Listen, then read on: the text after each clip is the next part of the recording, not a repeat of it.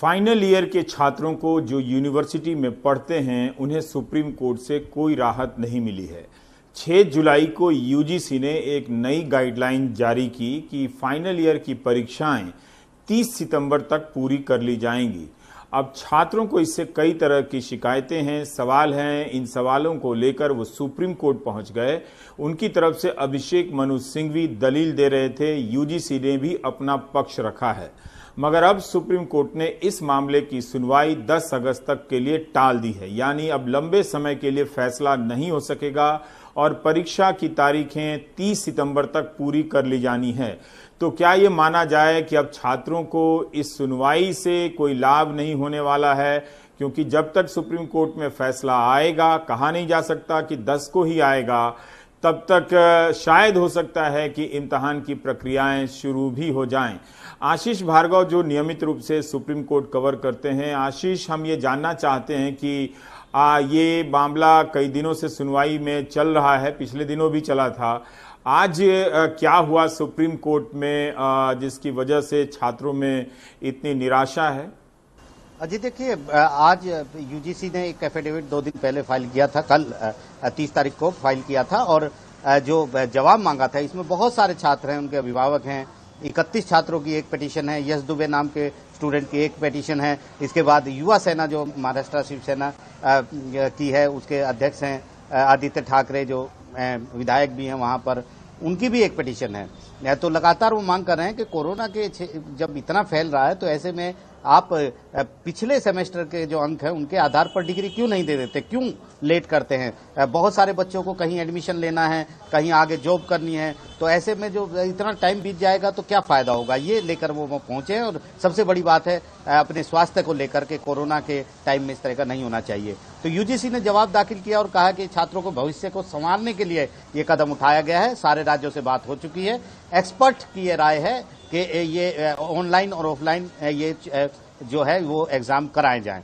तो यहाँ पर आज इसकी सुनवाई थी इसमें हालाँकि छात्रों की तरफ़ से अभिषेक मनु सिंघवी ने इतना तक कहा कि कोई आसमान नहीं टूट पड़ेगा अगर ये परीक्षा रद्द करके उनको डिग्री दे दी जाए उनको पुराने जो सेमेस्टर हैं, पिछले साल के या सेमेस्टर के हिसाब से, पिछले सेमेस्टर के हिसाब से जो अंक हैं वो औसत अंक दे दिए जाए और उनको डिग्री दे दी जाए, उनको आगे बढ़ने दिया जाए। बहुत सारे विदेशों में भी एडमिशन लेना चाहते हैं जगह जगह हैं, कोई जॉब करना चाहता है, ये तमाम तरह की बात हुई।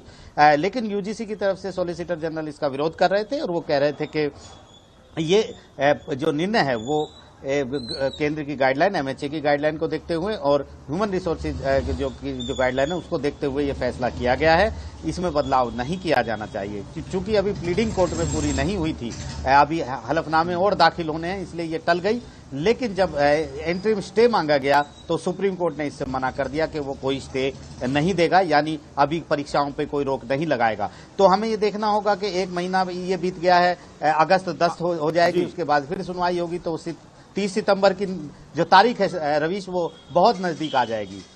जी। हम्म। तो आपकी बात से कि कोर्ट ने एंट्री में स्टे भी नहीं दिया तो ये माना जाए कि छात्रों को कोई फ़ायदा नहीं हुआ। हम आशीष समझना चाहते हैं कि बहस के दौरान छात्रों की दलीलों पर किस तरह से आ, आ, सुना गया क्योंकि उनका कहना है कि बहुत से छात्र जो हैं सिर्फ़ अपनी यूनिवर्सिटी के आसपास नहीं हैं बल्कि कई दूर दराज के इलाकों में चले गए हैं घरों में चल गए हैं चले गए हैं और वहाँ पर ऑनलाइन या इंटरनेट की वैसी कोई सुविधा नहीं है। ऑफलाइन की जहाँ तक बात है कि जब बहुत कम कोरोना के केस थे, तब उनकी परीक्षाएँ रद्द कर दी गई। अब कोरोना के केस बहुत ज़्यादा हैं। ठीक है कि रिकवरी रेट ज़्यादा है, लेकिन पैंतीस हज़ार लोगों की मौत भी हुई है। पता नहीं है कि किसका शरीर किस तरह से इस संक्रमण को झेलेगा, ये पता नहीं है। तो छात्र इस मानसिक रूप से परेशानी से गुजर रहे हैं। इस बहस को इन दलीलों को, छात्रों की दलीलों पर सुप्रीम कोर्ट का बहस के दौरान क्या रुख रहा? जी देखिए, यहाँ पर अभिषेक मनी सिंह भी लगातार कह रहे थे कि कोई आसमान नहीं टूट पड़ेगा अगर इस साल ऐसी कंडीशन में, ये एक्स्ट्राऑर्डनरी कंडीशन है, असाधारण कंडीशन है, महामारी है। तो इसमें आप पुराने अंकों के हिसाब से, पिछले साल के या पिछले सेमेस्टर के अंकों के हिसाब से आप मार्क्स दे दीजिए और छात्रों को उनकी डिग्री दे दीजिए ताकि वो आगे जा सकें। तो यहाँ पर उनका ये भी कहना था कि 16 लाख से ऊपर केस हो चुके हैं कोरोना के देश में। और ऐसे में इस तरीके की अब परीक्षा नहीं करानी चाहिए। कई एक पीड़ित भी है इसमें एक ऐसा भी छात्र आया सुप्रीम कोर्ट जो खुद कोरोना से पीड़ित है। कोरोना पॉजिटिव है वो। तो वो भी मांग कर रहा है। वहाँ पर कहा गया कि कुछ छात्र पीड़ित हैं कहीं पे उनके परिवार परिजन पीड़ित हैं। कई यूनिवर्सिटी कई कॉलेजों में ऑनलाइन की सुविधा नहीं है। हम्म। कई बच्चों के पास ऑनलाइन की सुविधा नहीं है इंटरनेट की सुविधा नहीं है छात्रों की। तो ऐसे में ये परीक्षा क्यों कराई जाएगी? ऐसे में भ्रम फैलेगा अगर आप परीक्षा को उन छात्र जो छात्र अभी नहीं दे पाए उनको बाद में करने के लिए बोलेंगे। तो और भ्रम फैलेगा लेकिन सुप्रीम कोर्ट ने हम्म। फ़िलहाल कहा है कि वो हम्म। स्टे नहीं देगा और फ़िलहाल यूजीसी ऐसा कर सकता है और इसमें छात्रों की भलाई लगती है कि जो छात्र अभी दे सकते हैं उनको दे देना चाहिए एग्ज़ाम हम्म इसी तरह से पिछले कुछ समय पहले जब मेडिकल के छात्रों ने पीजी के प्रवेश परीक्षाओं को लेकर अदालत से राहत मांगी थी और कहा था, तब तो बहुत ही खतरनाक स्तर पर था सब कुछ और तालाबंदी थी, लेकिन इसके बाद भी उन्हें अदालत से राहत नहीं मिली और मेडिकल के छात्रों को कोविड की ड्यूटी भी करनी पड़ी और जाकर अपनी परीक्षा भी देनी पड़ी। तो ये एक एक, आप इसका उदाहरण देखकर जो फाइनल ईयर के छात्र हैं वो समझ सकते हैं कि परीक्षाओं पर तब कोर्ट का क्या रुख रहा, अब क्या होगा? इसलिए साथ साथ अपनी तैयारी भी करते रहें। अब तो जब होगा, वो 10 तारीख को होगा।